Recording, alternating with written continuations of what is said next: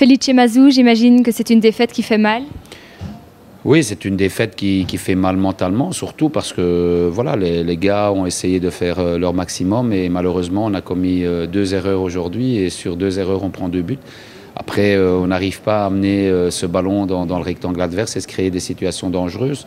Donc voilà, j'espère que mentalement, euh, les, joueurs ne vont, pas, accuser le coup. C'est ça le plus important parce que le championnat est encore très long.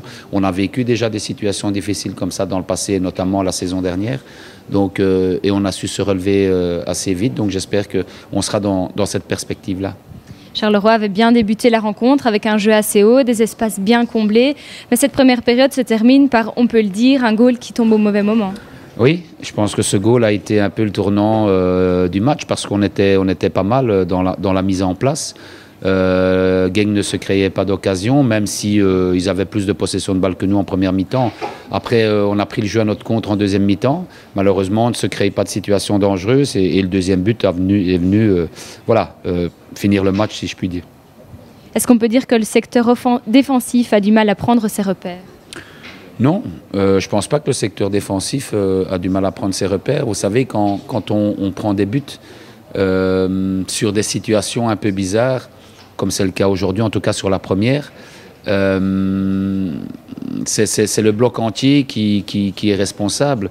une défense, quand elle, subit constamment, à un moment donné, voilà, sur la moindre erreur, elle craque. Et c'est ce qui s'est passé, passé aujourd'hui quand, on ne garde pas assez, assez, le ballon dans un échelon euh, supérieur, les ballons reviennent très vite sur le secteur défensif. Et je ne pense pas que ce soit la défense qu'il faille incriminer.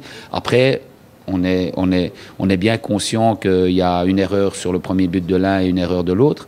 Euh, et puis, euh, et puis voilà, quand, un adversaire a des, a des joueurs de gabarit, de taille, euh, avec du physique comme Sébastien Dewas, comme euh, le, duel est un rapport de force. Et voilà, on a, on a perdu ce rapport de force sur le deuxième but.